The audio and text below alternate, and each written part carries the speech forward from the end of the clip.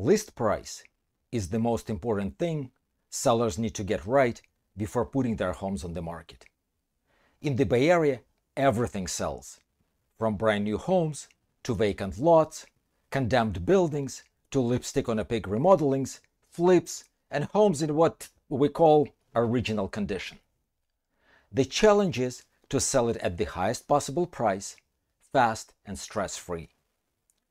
Looking at recent sales, we see that as many as 36% of the sellers list their homes at a wrong price and had to adjust it before getting an acceptable offer and closing a deal. What went wrong for these homes and these home sellers? In reality, home prices are set by the buyers. Buyers bring the money to the table, and only they can decide how high or how low they want to go in order to secure that one home for themselves and their families. The listing price is there to start the conversation, a hint of seller's expectations. After all, everything in real estate is negotiable, especially prices. When sellers set the listing price outside of the acceptable range, instead of attracting buyers, the price discourages house hunters from seeing the property and from submitting offers. In the Bay Area, it is expected that homes sell above asking price, on average with 5 to 7% overbid. Many buyers automatically add this amount to the listing price when they think about their offers. When the seller lists homes close to the market value, the property may look overpriced. Some sellers, especially out of the area sellers, want to list high to be able to have room for negotiation. The result is an overpriced listing. That is why the majority of price adjustments are price reductions. About 85% of all price changes are price drops. The first indication that the home is not priced right is the time on the market. Here in Santa Clara and San Mateo counties, median time on the market is around 12 days. Half of the new listings sell in 12 days or less. So if you, a seller, are not getting an acceptable offer after two weekends of open houses, it is an indication that the home is not priced correctly for the current market conditions. And if you're a buyer and a home you like is still on the market after two or three weeks, it is an opportunity to negotiate a deal before the owner drops the price and announces to the whole world that they are ready to move on. Work with your agent to find the best opportunities on the market and to take advantage of them. Back to the price adjustments. If your home is on the market for a month or two or even three, you can wait for the right buyer or the market conditions to change to get your dream price. You can even take your home off the market and release it at a later time. But you have to sell if you have to move now. There are three common scenarios. The first one is to walk the price down until it meets the market. It means that you will make small adjustments let's say 25 or $50,000 on a $2 million listing.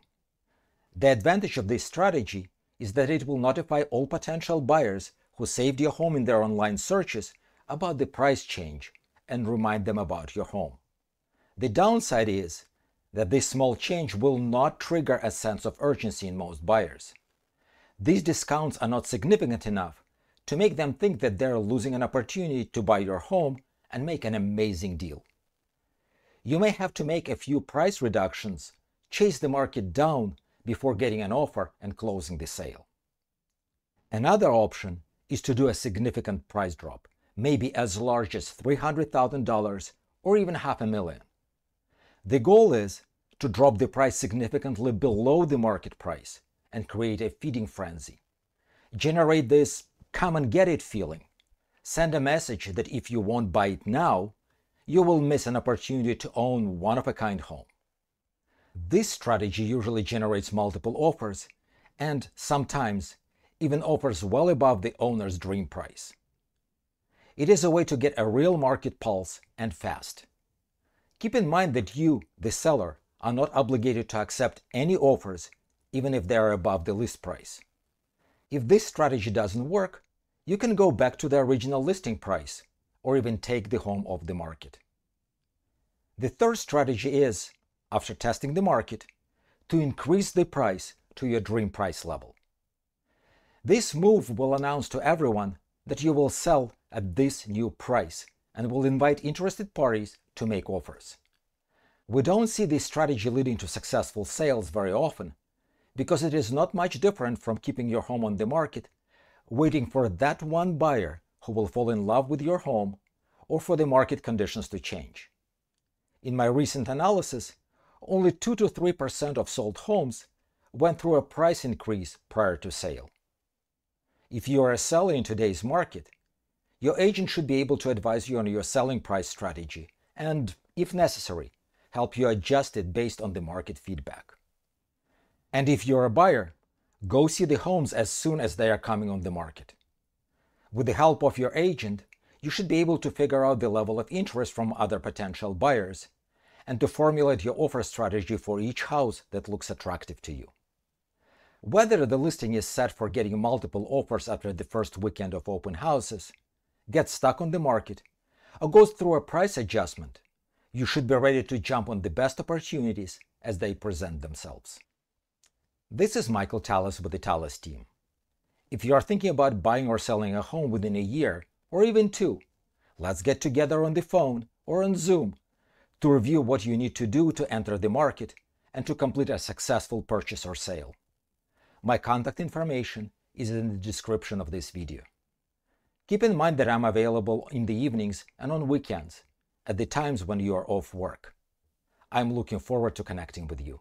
Till next time.